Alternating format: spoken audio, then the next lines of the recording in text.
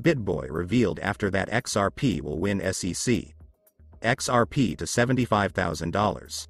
The Securities and Exchange Commission, SEC, in a lawsuit against Ripple will hardly be able to prove to the court that Ripple sold its XRP tokens to investors as an investment contract, according to crypto YouTuber Ben Armstrong, known as BitBoy.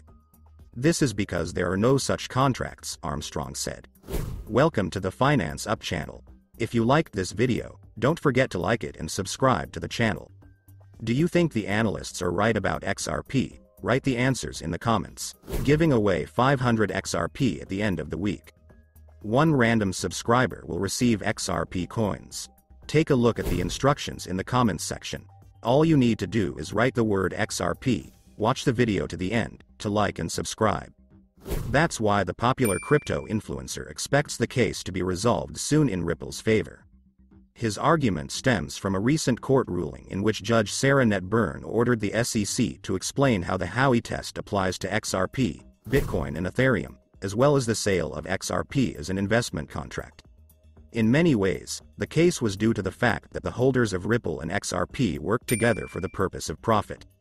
The SEC claimed that Ripple was selling XRP to investors in such a way that they believed that Ripple would work to make the token profitable.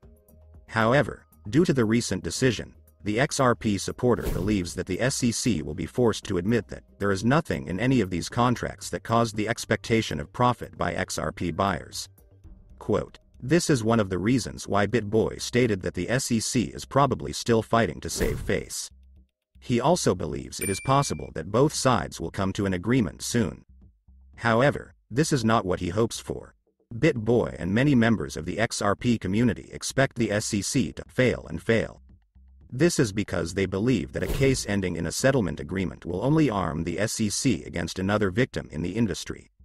Another well-known XRP supporter sharing the same opinion was attorney John Deaton, the head of the XRP Army v. SEC litigation. In a recent interview with Paul Barron Network, the lawyer argued that if the case is brought in summary proceedings and the ruling is that XRP is not a security, and the SEC does not provide fair notice to Ripple, as a result, the Commission will lose jurisdiction. Power over most of the crypto industry. If, however, the case ends with a settlement agreement, the SEC can still deal with other cryptocurrencies, he said. Meanwhile, Ripple continues to build partnerships that can improve it in the long run.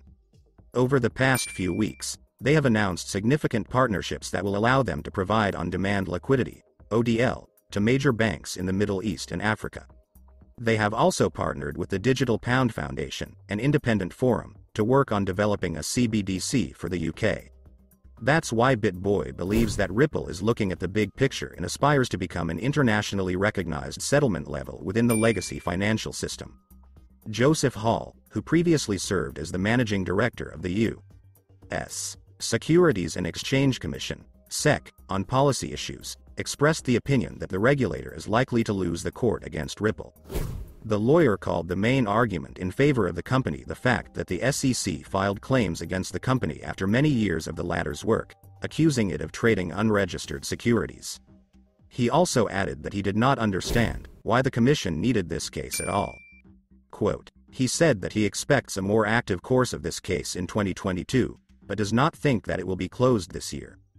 During an interview with Fox Business News, Ripple CEO Brad Garlinghouse shared his thoughts on the progress of the SEC case against Ripple Labs. It's been a hectic few weeks of unsealed memos, and despite the ongoing war, the XRP community has been eager to find out if everything is okay with the controversial crypto asset.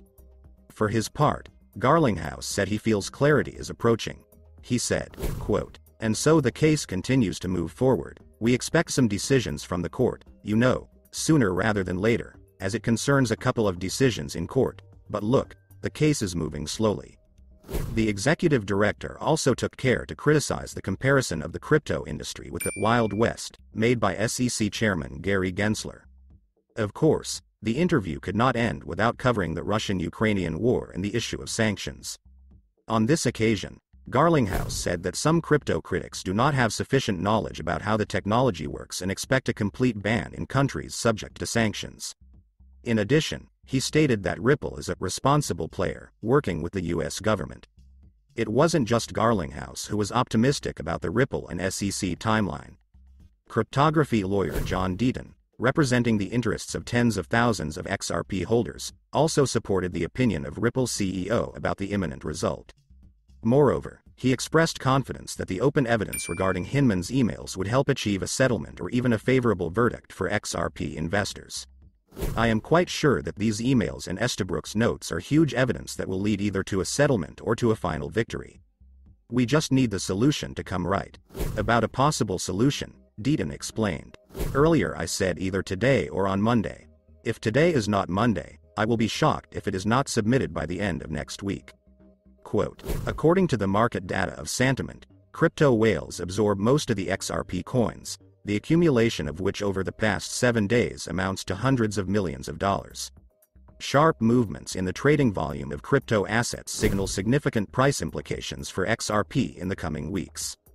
There are currently over 350 whale addresses, each containing over 10 million XRP. The increased accumulation also means that most XRP holders are confident that Ripple will win a groundbreaking victory in the ongoing litigation with the SEC alleging that they raised more than $1. 3 billion through an unregistered securities offering. Attorney Joseph Hall, a former SEC employee, said in a recent interview that the SEC should not have brought the lawsuit at all. He hinted in every possible way that Ripple would win, referring to the Commission's lack of grounds for initiating a case.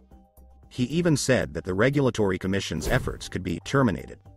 Quote, the current scenario observed in November to December 2020 demonstrates the most likely direction of future price shifts after rapidly accumulating about 1.3 billion XRP during this period, the price of XRP rose significantly against BTC in the next three months, as the crypto asset proved to be a more reliable cryptocurrency during the general downturn of the crypto market.